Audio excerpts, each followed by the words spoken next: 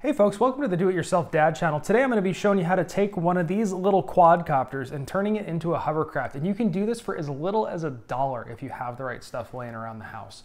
So the first thing you're going to have to start with is one of these quadcopters. And I have some examples here.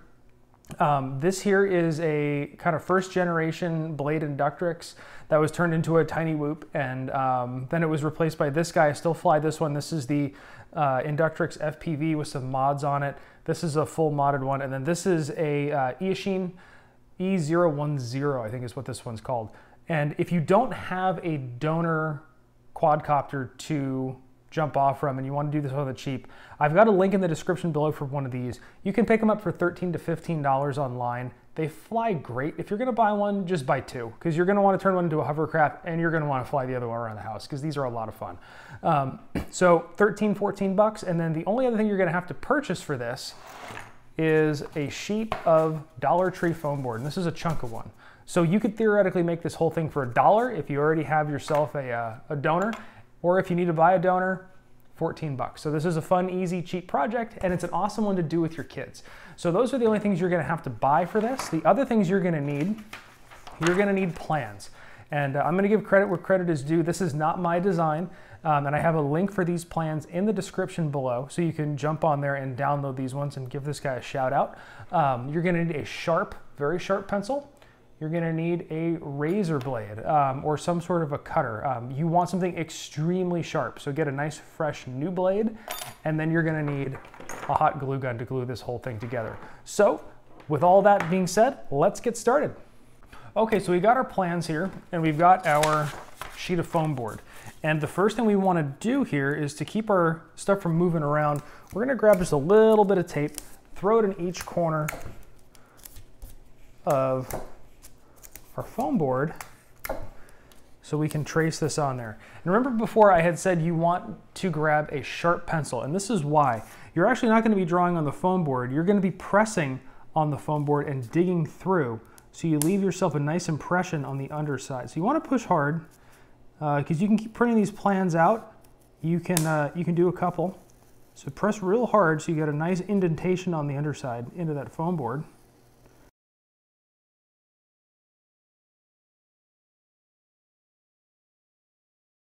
So there we go. Now with everything traced on there, now we can remove our plans here from the top of the piece of foam. And um, you may or may not be able to see it through the camera, but um, there is a indentation of our project on here. And now we're gonna grab our razor blade and we're gonna work our way around and cut this out. Something that will be helpful, it's not necessary, but it's helpful, is if you have a metal straight edge ruler that you can use to get these lines to make them nice and straight. It's not necessary, but it will help keep your lines a little bit straighter. And like I said, you wanna absolutely make sure that you have a nice sharp blade because as you cut through the foam board, if you have a dull blade, it'll start to catch and bind up on the foam board and your project just won't look as nice. So let's get started cutting this thing out nice and straight here.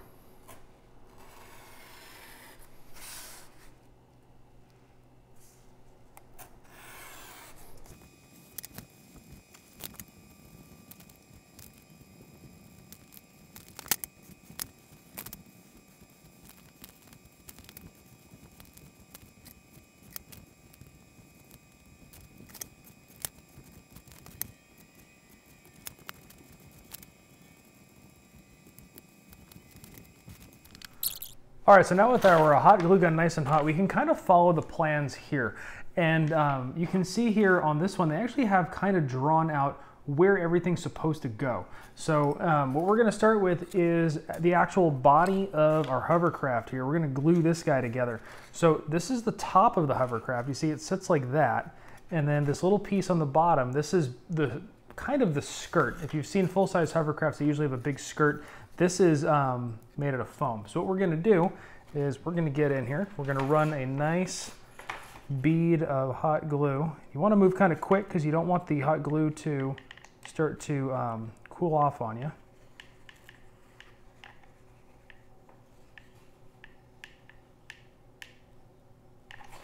So we get some hot glue. We're gonna flip it over. We're trying not to burn our fingers and get that guy stuck on there real good. Press all the way around a little bit of glue comes out, that is okay.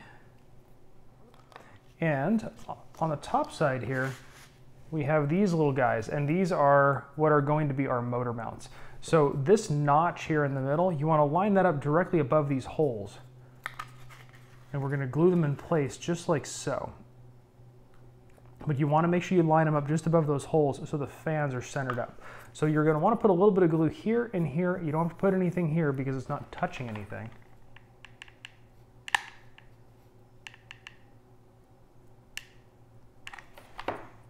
And then we want to center that up right above the hole. So the fan later will be centered up above the hole.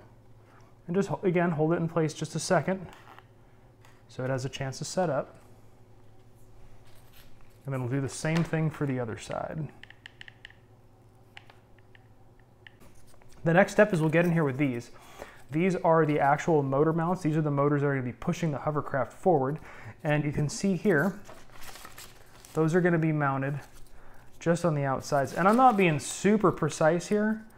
Um, I'm just kind of following the drawing. So we're going to apply, again, just a little bead of hot glue. It doesn't take a lot.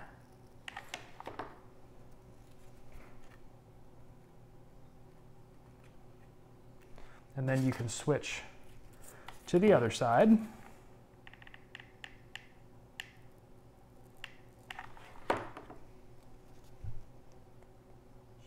So this little piece here, it's gonna go right here on the front, right down the middle.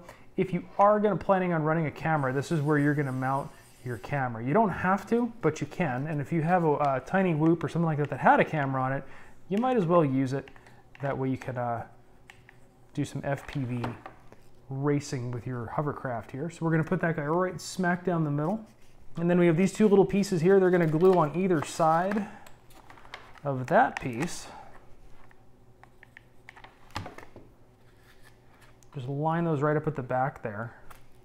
So there's one.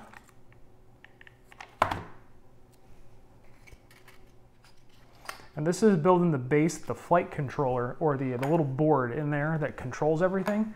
This is the base that is gonna hold all that stuff. So, and since this one, so there we go, there's our frame. Um, we can now unplug our hot glue gun for a little bit while we uh, gut the parts off this thing. So we'll show you how that's done. And then we're gonna move everything on to our hovercraft. All right now, so let's start getting into the actual, I guess, gutting, you could say, of the quadcopter here. So on this guy, this is, like I said, a um, first generation Inductrix. All that we're gonna have four motors, and a flight controller. And the one thing you want to remember on these, no matter which one you're taking apart, is which end is forward. And on these, the battery lead is on the back. So that's an easy way to remember that that one is forward. And the reason you got to remember this is that determines where each motor is going when you put it on your hovercraft here. So we're going to start getting in here and getting this flight controller and the motors out. Okay, so now we've got all of our electronics free. We've got our four motors, our props are in place, we've got our flight controller here, and on this one they were even nice enough to give us a little arrow on the flight controller to indicate which way is forward. Um, but we also were talking about how the battery lead comes at the back, so you'll know which way the front and the back is, and you want to remember that. Before you glue this thing in place, remember it's going to go on top of this little pedestal here, right in the middle of your hovercraft. You need see here, I actually trimmed it a little bit so these leads, these motor leads would clear it and I could get it all the way down to that board. So with that kind of cleared out of the way, you want to make sure we're not going to get any of our motor wires in the way here. We're going to put a dab of hot glue right here on this middle piece.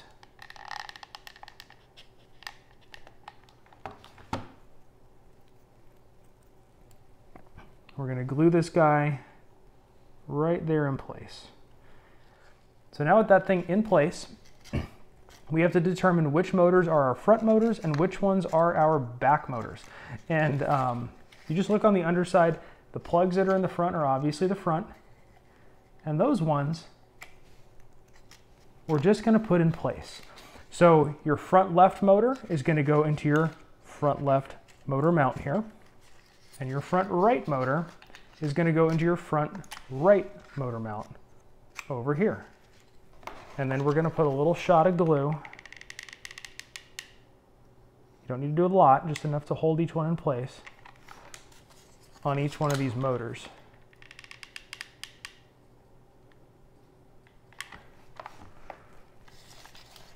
and here's where things get tricky. On the back motors, we're gonna do something different. We're gonna actually flip these guys in the other direction. And you might have to get some slack in your wires. So you'll notice why these are all curly queued up. You might actually wanna take them, you'll notice on these, they're, they're twisted around each other. To get a little bit more slack in those wires, you might have to untwist them a little bit to get that slack so you can stretch that wire all the way around to the other side.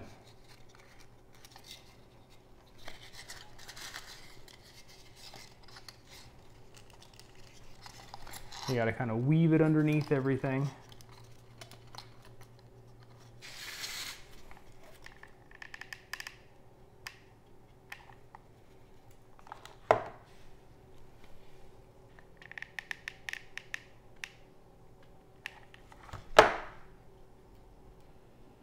Okay, so there we go. I've got it kind of set up here. Um, I actually, these wires were shorter than I had expected, so I actually had to move these motor mounts in a little bit um, so they would clear the wires. So you can see here, if you look on the underside, the wire from one side crisscrosses over and the wire from this side crisscrosses over.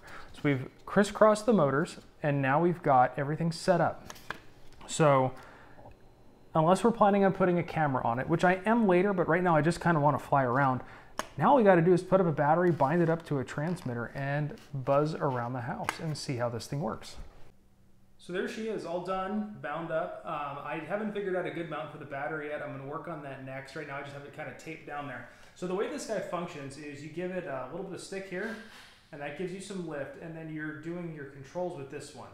You don't ever have to touch that right stick if you're going to be using just one of these remotes. I didn't bother to pair this up to my Taranis and do tuning and whatnot, so this is what it's at. So um, anyway, here it is. It does fly really well. I'm going to try to film it and fly it at the same time, which is kind of tricky. Uh, what do you think? Is this is this driving or is this flying? Leave me a comment down below. Let me know what you think. Is this driving it or am I flying it? Uh, but anyway, if this video helped you out at all, give me a great big thumbs up. And uh, leave a comment down below and share this if you like. We really appreciate your, uh, your viewership. Thanks for watching.